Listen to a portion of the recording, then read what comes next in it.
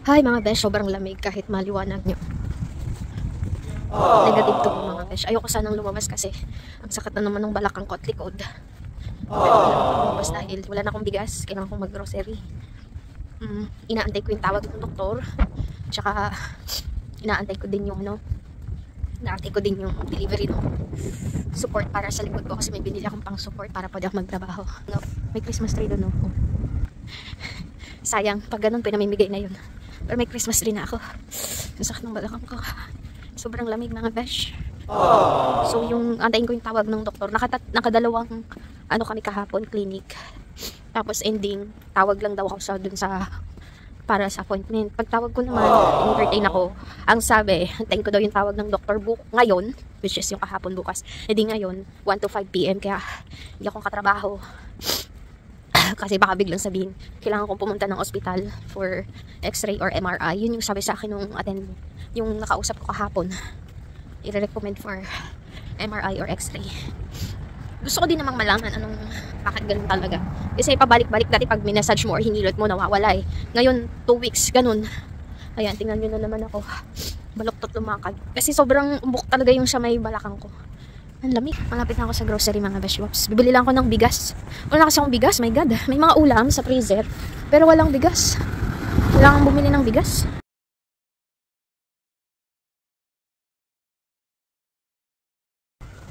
Pauwi na ako mga beshiwap. Nagmamadali. Sobrang lamig kasi. Tapos medyo mabigat yung dala ko. Ito yung ano, mahirap sa akin. Bawal na ako magbuhat ng mabigat. Kaya bumili ako ng pang support sa likod ko. Kasi pag yumuko ako, doon na nag-start sumakit. Katulad ngayon, medyo mabigat nga yung dala ko. Sumasakit na naman siya. Alam mo naman kasi sa katawan mo kung ano eh, kung severe na yung sakit o hindi. Kasi syempre katawan mo yun, alam mo yung limitations mo. Sobrang liwanag pero sobrang lamig, Diyos ko. A few moments later. Magbablog muna ako. Kausap ko sila nanay. Dumating na yung inaantay kong package. Ito yung support para sa likod ko mga besh. Open na natin.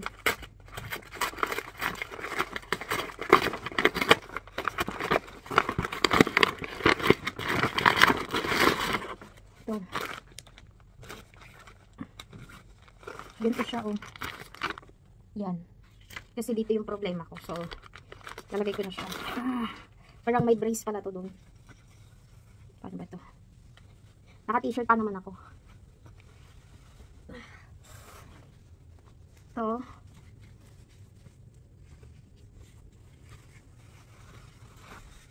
Small lang yung kinuha ko, syempre.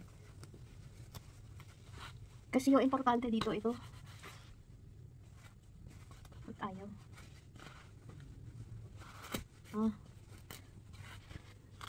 Para pang ano pala.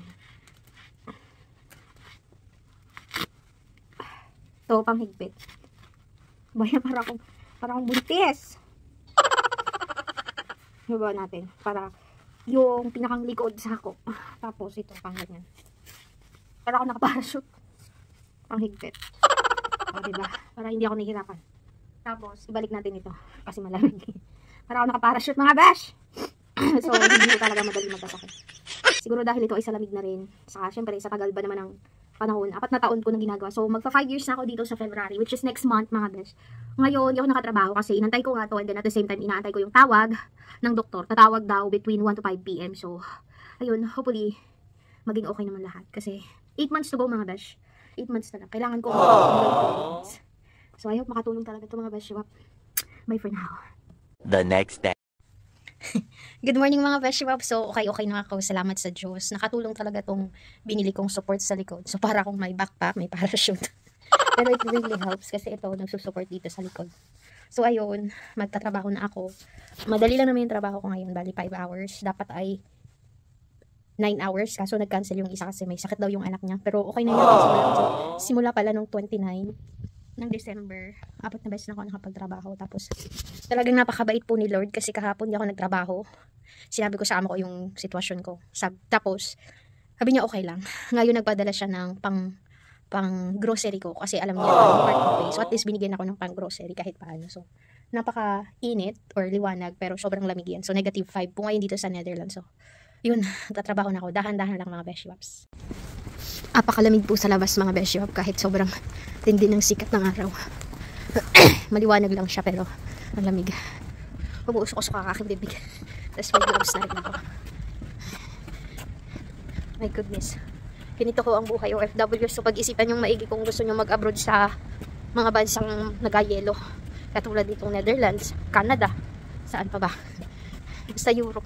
Aray, sa Sayang oh. Ganda pa eh. Mga ganong bagay inatapon din yun. Ganda ng umaga. Three hours later. Hi mga besh, nakatapos na rin ang unang trabaho. May isang madali lang naman yun tapos walang tao doon. Pwede ako kumain ng lunch bago mag-umpisa. May baon akong nilagang itlog for lunch. So yun lang ang lunch ko. Ay mga besh. Life. Life must go on mga besh. So, ayun ho, nakarating na ako sa pangalawang trabaho ko. O, ayan, di ba? Para akong may backpack or parachute talaga sa likod. So, syempre, ah, nag-dusting na ako, nag-vacuum na dyan mga veshiwaps. Yan ang lamig po din sa bahay na iri, walang heater. Negative kung ano yung temperature sa labas, ganun din din sa loob ng bahay. Buti na lang makapal yung suot ko, pero yung kamay ko, lamig, grabe. Vacuum na lang ako, tsaka mop, tapos bathroom, toilet, tapos na rin naman ako. Saglit lang naman to.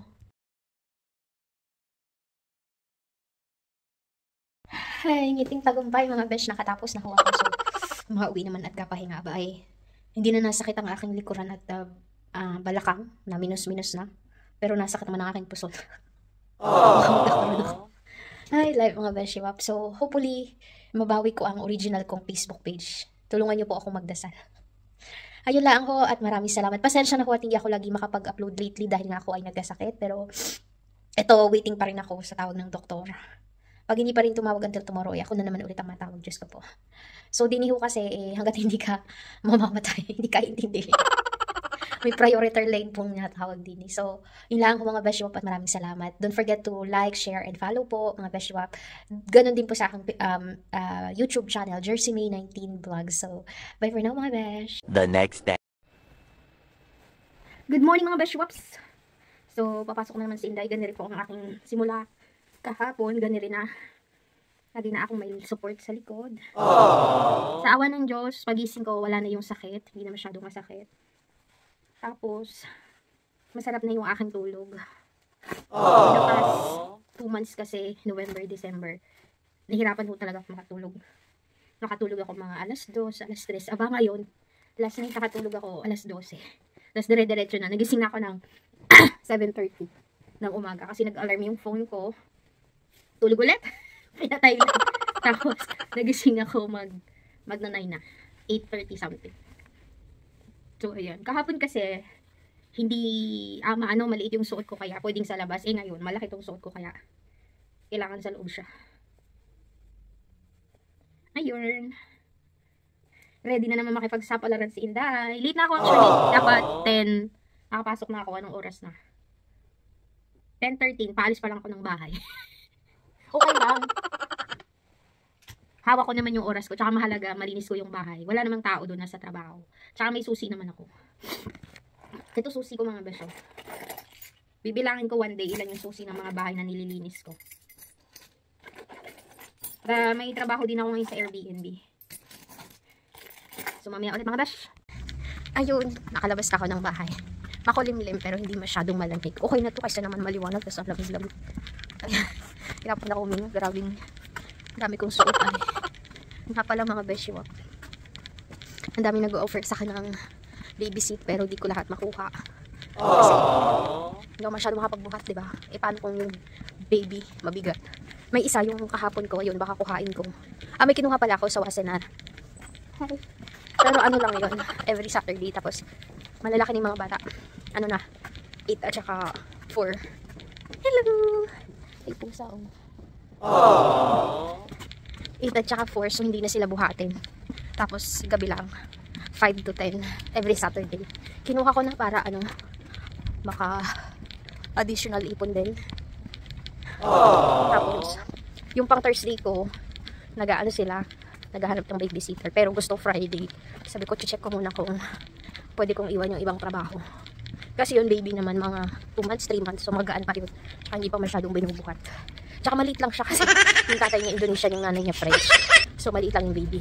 Pag Dutch kids kasi, malalaki, mabigat. Katulad nung kambal ko. My God. So, hopefully, pumayag sila dun sa ah, offer ko. May in-offer kasi ako. Ayun. Hingal na naman si Inday, mga besh. Layo-layo pa. Dahan-dahan lang. Tinatamad ako pumasok pero wala, kailangan magtrabaho dahil bayaran na naman ang mga bayaran. Sana ganito lang yung winter. Makulimlim lang pero hindi ganong kalamig. 3 degrees na yun eh. Hindi siya negative. Ay, yung mga Christmas tree, dito dati yung tapunan. Diyan na nila nilagay. Ayun, hanggang January ko na lang ito makikita ang favorite place ko na to kasi next month, iba na yung daan ko kasi yun nga, lipat na ako ng bahay. So, namnamin natin ang tanawing ito mga vegetables. Ang ganda, di ba?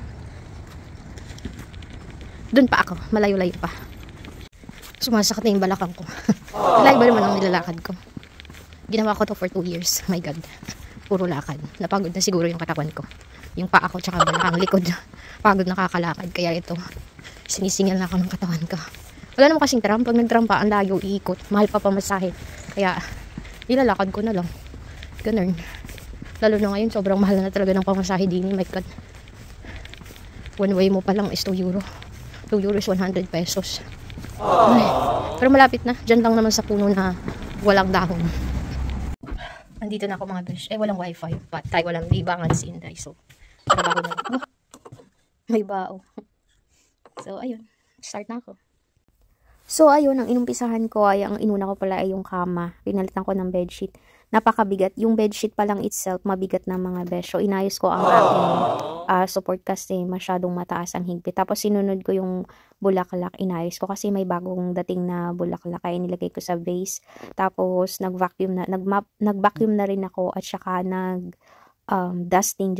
Natawa po ako sa pusa kasi takot yan sa vacuum. Eh, nagbabacuum na ako dito. Nagtago siya sa... Hindi na yung lumalapit sa akin pag humawak na ako ng vacuum. Hindi ko alam bakit, pero siguro may phobia siya. Sorry, Pritz! Nakatapos na ho ako sa unang mga best swap. Pinadelay ko na at ano, masakit na yung likod ko. Nasakit pa ang naman siya kapag naga-nayuko ako. Kasi syempre nababalot ko. Kaya ayun. Siga eh, sa gitna ng kalsada na daan. Kadadaan lang nung ano, tram, gaantay pa ako. A few moments later. So, andito na po kami ngayon sa Airbnb at may kasama ako. Busy na siya. Ako nagbablog pa. oh, ayan. Malinis naman. Tapos, tingnan natin yung rep kung may naiwang pagkain para sa akin. Charot.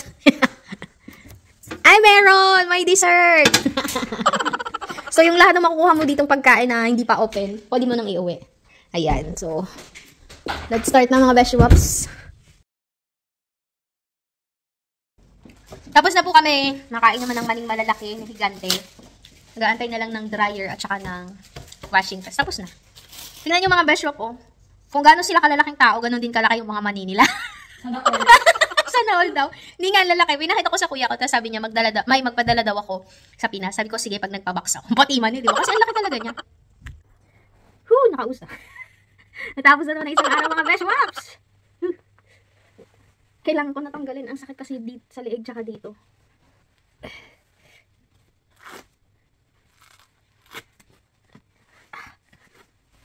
sakit dito eh. Pero, So mga besh, natapos ang biyernes ni Inday. So may trabaho pa ako bukas. Bawi-bawi talaga mga besh. Pangbayad ng mga bayarin!